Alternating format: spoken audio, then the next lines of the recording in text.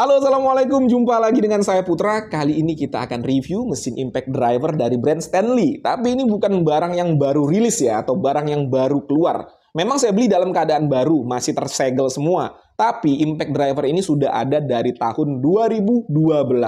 Kalau sekarang tahun 2023 berarti umurnya sudah 11 tahun. Cukup lama. Ini resiko ya, kalau beli barang seperti ini ada resikonya, jadi kalian harus hati-hati. Kenapa? Karena ini adalah barang cordless atau yang menggunakan baterai. Baterai kalau tidak dicas dalam jangka waktu yang lama, biasanya rusak.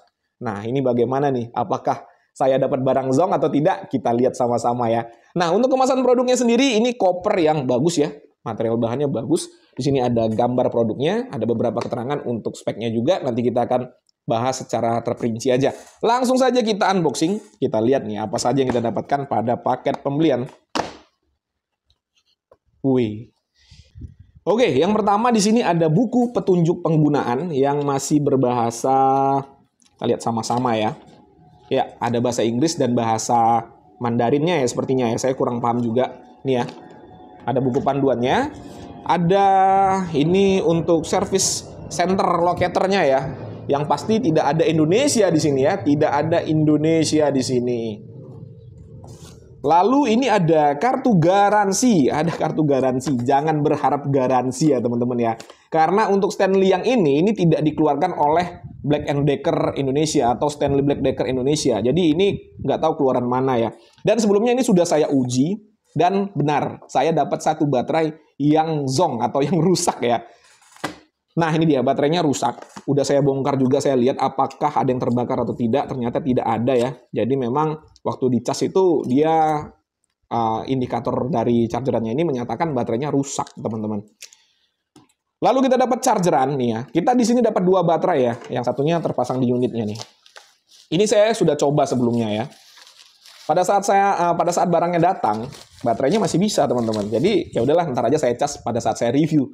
Ternyata setelah saya coba lagi, udah nggak bisa lagi. Nah, ini dia. Unitnya seperti ini. Cakep ya, cantik. Cantik warnanya itu warna abu-abu hitam. Ada action kuningnya sedikit. Uh, saya suka nih warna seperti ini. Terlihat garang ya, terlihat laki banget ya. Untuk build quality-nya, yang pertama chargeran ya. Chargerannya ini, ya ini Stanley. Bahannya nggak akan main-main ya. Ini material bahannya bagus, plastiknya. Terlihat solid dan untuk finishingnya rapi sekali. Ya, detail-detailnya mantap. Bahasanya ini bahasa Korea atau bahasa Mandarin saya nggak tahu ya teman-teman ya. Ini kayaknya bahasa Korea sih. Ini ya. Ya brand global nggak mungkin material bahan yang digunakan kaleng-kaleng ya. Ini udah pasti bagus untuk material bahannya. Lalu untuk baterai, nih baterainya juga terlihat premium sekali ya. Ini kalau saya mau bandingkan ya, dibandingkan dengan Stanley keluaran terbaru, ini terlihat lebih mewah ya untuk material bahannya atau finishingnya. Nih ya, cakep ya. Uh. Nah, ini unitnya. Wih, keren. Suka sekali saya ini bentuknya. Warnanya juga mantap ya. Oh, ini kita dapat bit obeng lagi. Dapat bit obeng lagi ternyata ya. Untuk material bahannya, untuk anvil ini dari metal pastinya. Di sini ada bumper karetnya, gearboxnya ini coran aluminium. Lalu untuk bodinya semuanya adalah plastik ya. Plastik yang di finishing dengan warna abu-abu seperti ini, keren sekali. Dan untuk mereknya ini masih tempelan, ini juga tempelan. Finishingnya rapi ya. Untuk grip karetnya ini enak ya di tangan. Mantap. Kita lihat nih apakah responsif atau tidak. Triggernya responsif ya. Forward and reverse nggak ada masalah. Selanjutnya untuk fitur. Nah, ini untuk fitur yang pertama. Di bodinya ini ternyata ada magnet untuk menempelkan bit obeng ya. Nih, magnet. Dia nempel, nggak akan jatuh. Nih ya, magnetnya. Lalu untuk anvilnya sudah quick release pastinya. Ada forward and reverse, putaran kanan, putaran kiri, dan apabila posisinya di tengah, dia akan mengunci triggernya. Lalu di sini ada LED light. Tidak ada indikator baterai ya teman-teman ya. Tidak ada indikator baterai. Di sini juga ada bell clip ya. Bell clipnya ini bisa dipasang di sisi bagian kiri atau sisi bagian kanan. Tergantung kalian nyamannya di mana ya.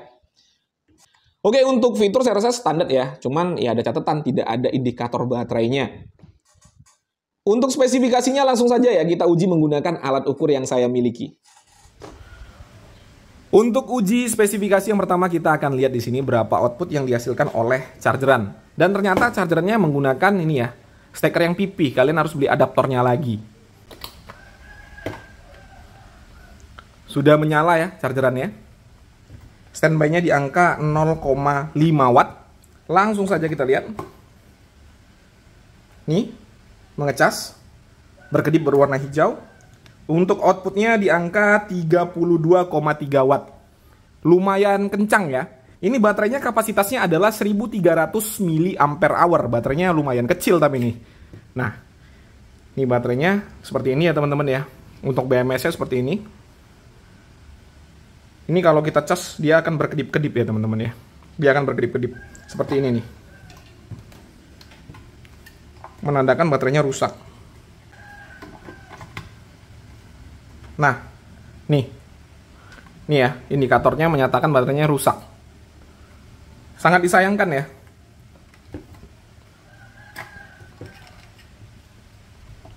Sekarang kita akan cas lagi baterainya sampai full. Nanti kita akan uji untuk RPM. Oke, untuk baterainya sudah terisi full ya. Sekarang kita uji RPM.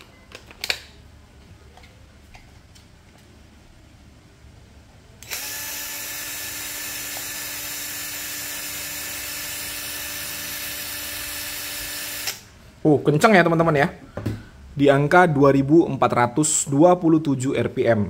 Kalau kita lihat spek tertulisnya, ya sudah sesuai lah ya. Di sini tertulis 2500. Untuk bobot dengan baterai di angka 1,80 ya kita bulatkan saja menjadi 1 kg ya. Oke, saya dapat satu catatan ya teman-teman ya. Jadi untuk anvil dari impact driver Stanley ini tidak bisa masuk untuk bit obeng yang dua kepala atau dua sisi seperti ini.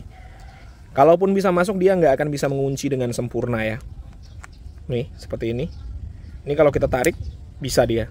Jadi harus menggunakan bit obeng yang seperti ini nih yang hanya punya satu mata nah kalau yang ini nih kita pasang ya kita pasang langsung mengunci Oke, untuk uji performa di sini saya akan menyekrup pada kayu meranti batu ya. Saya akan nyekrup dengan skrup-skrup kecil terlebih dahulu.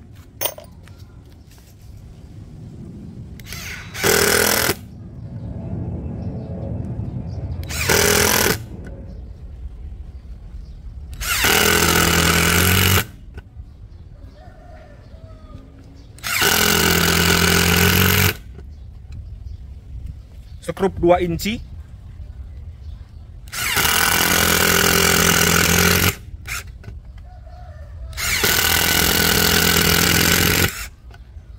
Gak ada masalah ya. Ini untuk pukulan impactnya sendiri sih. Ini seperti Makita TD110 mirip-mirip untuk feels uh, pukulan impactnya. Oke. Satu temuan lagi ya. Kalaupun kita gunakan yang belakangnya flat seperti ini atau yang hanya punya satu sisi ini juga harus pendek ya harus pendek seperti ini. Kalau panjang seperti punya Makita ini ini juga nggak bisa mengunci teman-teman. Kita coba ya. Nih nah ini nggak ngunci dia caknya nggak ngunci jadi kalau kita tarik bisa jadi harus pakai pendek seperti ini nih nih nah ini langsung mengunci ya oke kita akan uji menggunakan skrup besar yang seperti ini kepala X 10 mm ya. Ini panjangnya 2 inci. Medianya masih sama, kayu meranti batu.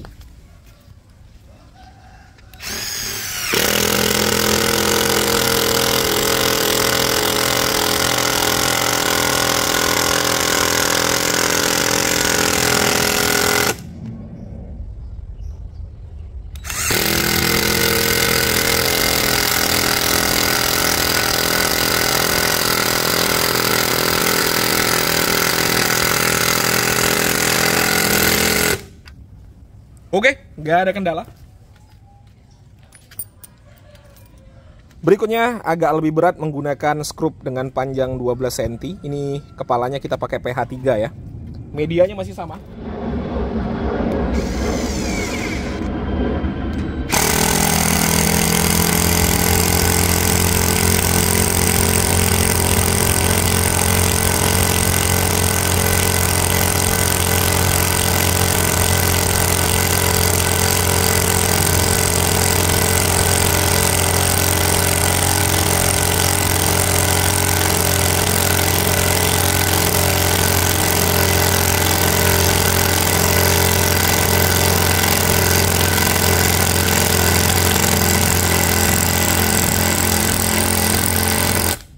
Oke, sampai tuntas. Sekali lagi.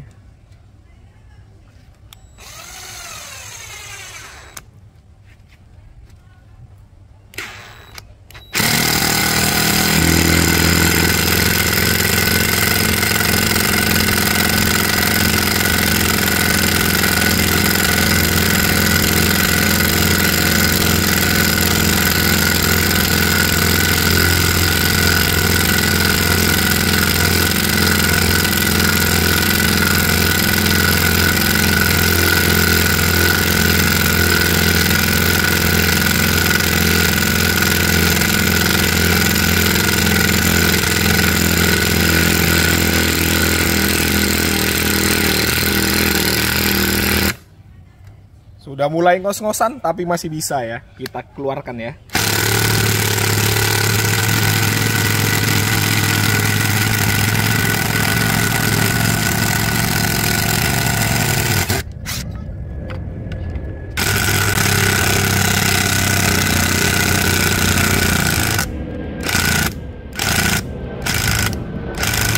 Iya. Gak sanggup. Gak sanggup ya teman-teman ya. Gak sanggup.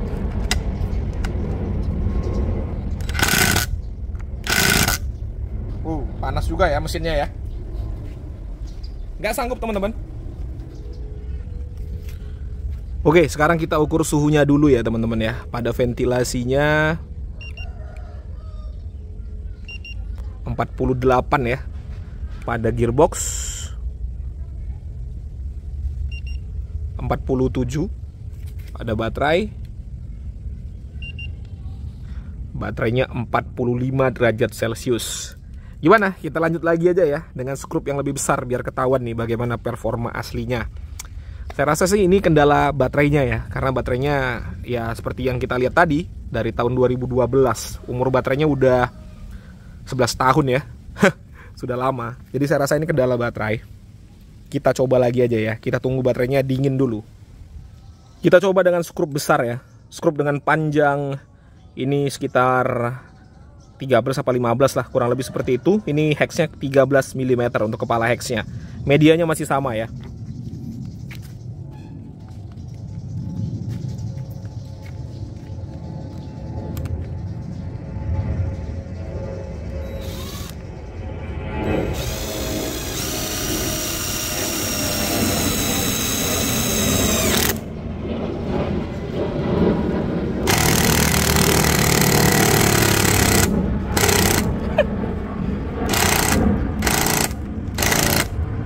Mampu ya teman-teman ya. Nggak mampu. Sepertinya baterainya juga habis ya. Baterainya juga habis. Nggak mampu. Kita tunggu baterainya penuh dulu apa gimana ya? Kita cas dulu baterainya ya. Oke, kita lanjut lagi ya. Ini baterainya sudah saya isi sampai full. Apakah mampu nih ya?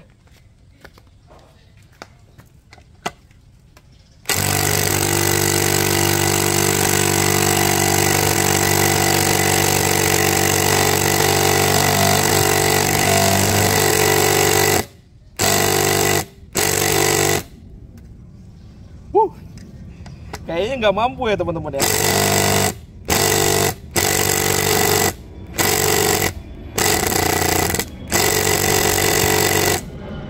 Ya, nggak mampu teman-teman, nggak mampu. Ya, jelas nggak mampu ya. Untuk masukin skrup seperti ini yang besar nggak mampu teman-teman. Oke, supaya kita tidak terlalu cepat menyimpulkan, sekarang saya akan coba ya teman-teman ya. Saya akan coba masukkan skrup ini menggunakan DeWalt 12 volt yang motornya sudah brushless. Nah, kalau ini nanti nggak mampu ya memang kemampuan impact driver 12 volt ya seperti itu ya teman-teman ya. Kita akan coba masukin.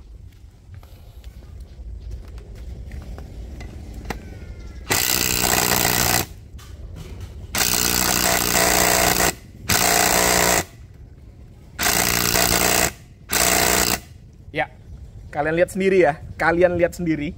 Di World juga nggak mampu loh.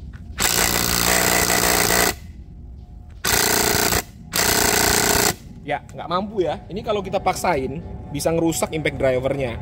Jadi memang kemampuan impact driver 12 volt ya seperti ini ya, seperti ini teman-teman. Nah, beda dengan ini impact driver yang menggunakan baterai 20 volt, jelas beda. Kita coba nih ya.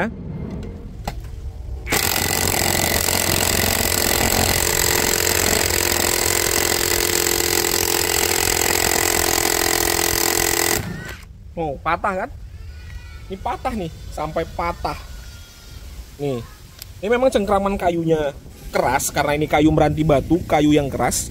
Dan juga torsinya jadi memang nggak mampu ya, torsi dari impact drivernya. Karena hanya menggunakan baterai 12 volt. Nih, 20 volt langsung patah. Jadi jangan langsung menyimpulkan bahwasanya kalau dalam pengujian saya ini nggak mampu untuk memasukkan skrup sebesar ini, ya belum berarti atau belum tentu jelek ya. Ya karena memang kemampuannya ya segitu. Oke, itu tadi ya teman-teman ya sudah disaksikan bersama-sama bagaimana saya mengulas mesin impact driver ini kurang lebih seperti yang kalian saksikan. Berikutnya saya akan menceritakan pengalaman saya menggunakannya tadi. Ini murni opini pribadi. Kalau kalian punya pandangan atau pendapat yang berbeda, nggak jadi masalah. Dituliskan saja pada kolom komentar. Oke, impact driver ini saya dapatkan dengan harga Rp810.000 harga 800 ribuan untuk sebuah Stanley bisa dikatakan murah. Ini build quality-nya jempolan, fiturnya nggak ada masalah ya, bekerja dengan baik semua. Lalu untuk performanya juga sudah standar mesin impact driver 12 volt. Untuk feels penggunaannya ya mirip-mirip dengan Makita TD110. Nah ini worth it kalau ya ini worth it ada catatannya. Ini worth it dibeli kalau kalian dapatkan barang yang normal, tidak cacat seperti saya dapatkan ya. Baterainya satu cacat. Kalau dapat yang normal, yang semuanya bekerja dengan baik, saya rasa Rp810.000 itu sangat-sangat worth it untuk dibeli. Kalau kalian mau beli, link pembeliannya ada pada kolom deskripsi. Tapi bagi kalian yang memang butuh mesin impact driver untuk bekerja, apalagi kalian yang memang sangat-sangat perlu, saya tidak menyarankan membeli barang yang umurnya sudah 11 tahun. Resikonya terlalu besar ya teman-teman ya. Resikonya terlalu besar. Iya kalau kalian dapatkan baterai yang normal. Kalau tidak kan ya 810 ribu sama saja dengan buang-buang uang. Apalagi ini kan barangnya udah lama ya umurnya ya sudah 11 tahun. Ketersediaan spare partnya juga dipertanyakan. Bukan saya bilang nggak ada ya, tapi dipertanyakan. Sulit untuk mendapatkan spare partnya. Tapi bagi kalian yang mau ambil resiko silakan ya. Link pembeliannya ada pada kolom deskripsi kalau kalian mau beli. Nah, bagi kalian juga yang suka koleksi power tools, saya rasa ini cocok lah untuk jadi barang koleksi ya, karena ini termasuk barang yang antik ya. Sudah jarang kita temukan di pasaran jual unit baru seperti ini. Oke ya, mungkin itu saja yang bisa saya sampaikan. Seperti biasa, kalau ada pertanyaan seputar impact driver ini bisa dituliskan pada kolom komentar. Saya Putra, Assalamualaikum warahmatullahi wabarakatuh.